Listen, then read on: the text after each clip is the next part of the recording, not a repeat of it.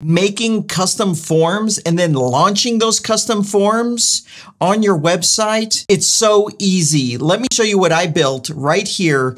It literally took me two minutes to do. Obviously, the video is a little bit longer because I explain everything, uh, but making this was only two minutes. This is a beautiful custom form, custom fields, and here's the thing. I didn't have to go out and do the research on how to make or, or, what fields needed to be in this form. I literally just told it what I wanted and it made this custom form. I didn't pay anything.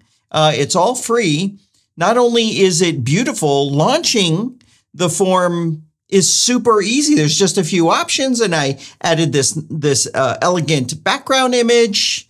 Uh, I adjusted some settings. I put a nice color in there and the spacing and the styling of this form is absolutely stunning and beautiful. If you look at just, for example, this multi-select option here, uh, or it's probably single select, when I click on it, it has these beautiful, nice, subtle animations and everything is beautifully styled.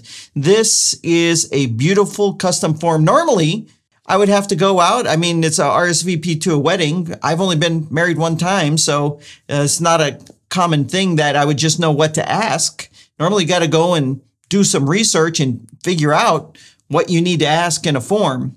Uh, but you don't have to do it. And I'll show you how to make this form or any kind of custom form and launch it in minutes at absolutely no cost. So let's get started by setting up a new site for this form. I always go to ZipWP and get a free account here and you can use it to build websites for testing things and then you can launch the website. So here's my account. I'll go to create new. I'll choose blank website and I'll give this a name.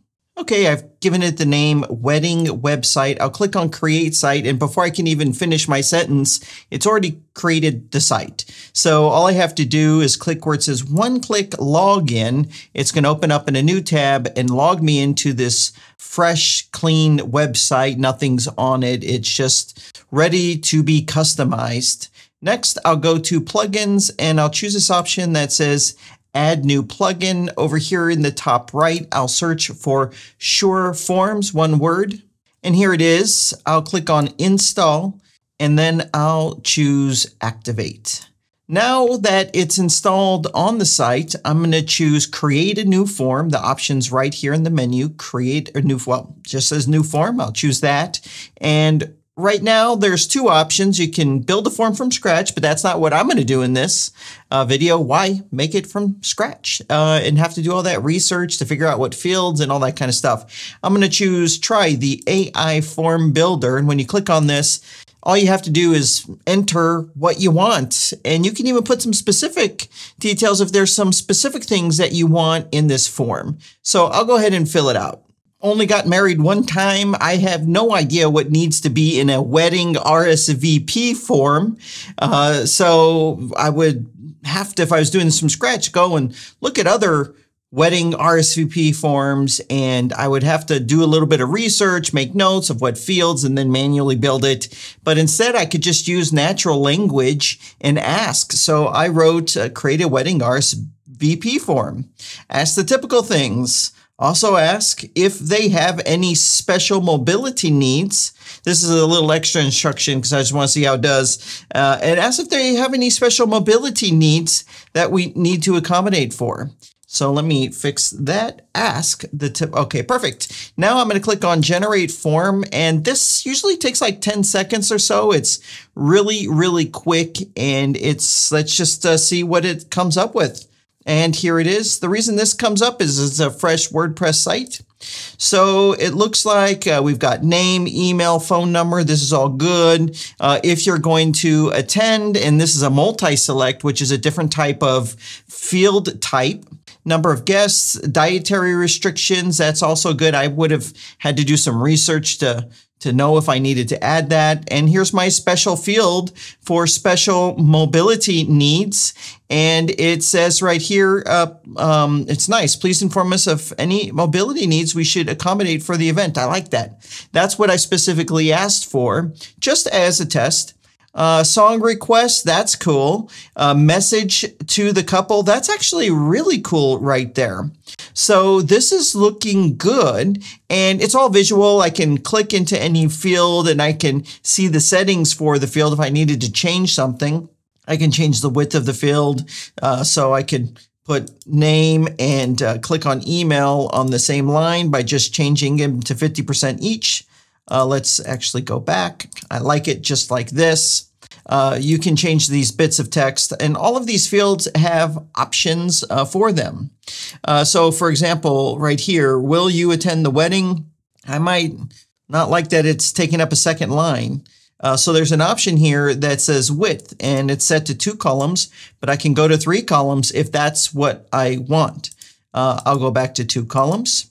Uh, so this looks good. Uh, this button I'm going to want to change. So I'm going to click on it and here are the options. I can style it. So I can choose a color from the color palette uh, for the site that I'm on. So let's uh, maybe choose something like that. Uh, instead of, let's make it the full width of the area like this. Uh, instead of the word submit, let's just change that. I don't know. I just put RSVP now. I don't know. Uh, you can make it whatever you want, obviously. So, uh, so far this is great. I'm going to go ahead and click on publish and then I'm going to click on publish. Now, let's click right here, the option that says view form and take a look at it. So this is where we're at already, but now we want to launch the form. We've already created a beautiful form, uh, but now we want to launch this form, make it available on our site. And this isn't actually how I want it. Let's look at the options to take this and make it a beautiful page that we can start emailing out and sending to our guests. So I'll click back on edit form and there's this option here on the top right-ish area that says instant form. And when you click on it, this is an option that creates that page you just saw. So I don't have to build and design a page on my website. This will just do it all for me. And it gives me a few simple options. So first option is to enable this instant form feature. So I want to turn this on. Uh, next is to have a preview of the feature. So when I turn this on, it's now going to show me what it's going to look like. So now we could start customizing this out. So I'm going to, I don't want to show the title there. Uh, I'm going to have to actually adjust something for that in a moment. So I'm going to turn the title off. I'll add a bit of text above here in a moment to add the info I want to open the form for someone. All right, so I've gotten rid of the title. Now for this banner area, you could change the color, but I'm going to put an image. So let me select an image. I'll click here and I'll choose one from my computer. So here's an image. It looks kind of celebratory, I guess. This is just an image. You can have any image. It just needs to be a big enough image. So I'm going to choose select. Now that's actually looks, actually that looks very nice, but I want it to be an overwhelming nice feeling.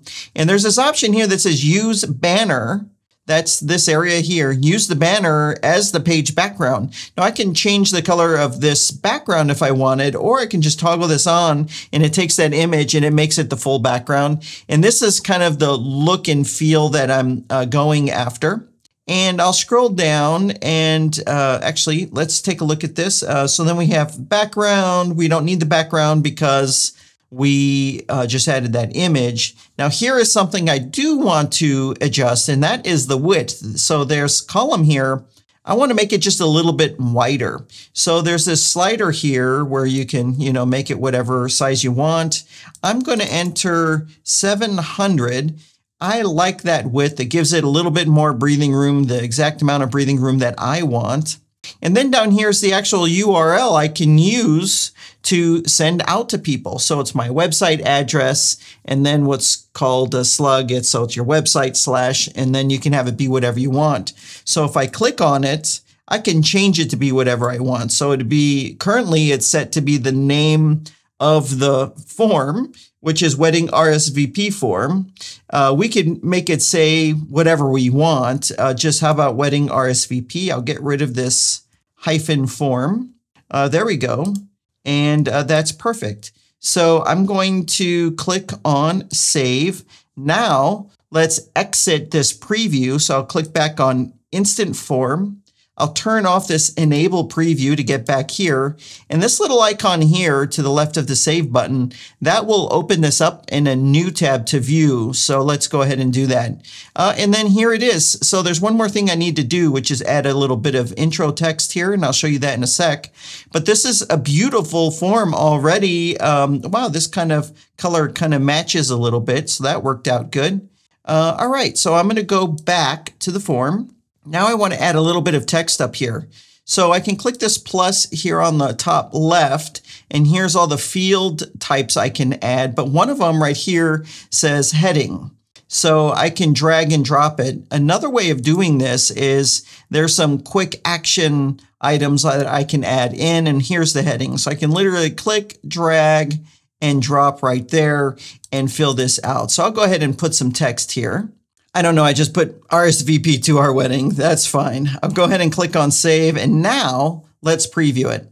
This looks absolutely beautiful. RSVP to our wedding. We've got our fields here and we have our submit button. This looks beautiful. Now there's a couple more things you might want to do. Let me go back into the form. Over here, there's some options. It says form confirmation, email notification. That's where the submissions will go, compliance settings and integrations. I'll click on form confirmation. It pulls this up and this is where you decide what happens after someone clicks on that submit button. So you could show a message, redirect them to a different page uh, on your site or to a, just a different website altogether. So you might want to like redirect them to the gift registry. no, uh, actually, probably what I would do is for the success message, I would change the text here and you could just click and type away. I would actually add a link to where the gift registry is. That would be pretty cool. Uh, so after the form is submitted, they see that message and then they know where to go to pick out a gift. Uh, but that's just some free advice right there. Now, I don't know about you, but that was the easiest custom form building experience that I have ever had, hands down. And when you look at the details of the quality of the form that's created, the subtle interactions, the styling, everything, the spacing, everything is crafted beautifully. And the AI is just a cherry on the top to save time from having to go out and research what should be in a form and then to write all that down and then to go and manually build that all out, it probably saves about 45 minutes or so of not having to do that. You could just use the AI to give you the perfect starting point uh, for a form. Uh, it really doesn't get any easier than this in creating forms. Uh, what do you think? Let me know in the comment section down below. Uh, what do you think about this implementation of AI specifically in a very practical manner? There's no having to sign up for anything or pay for anything. It just works.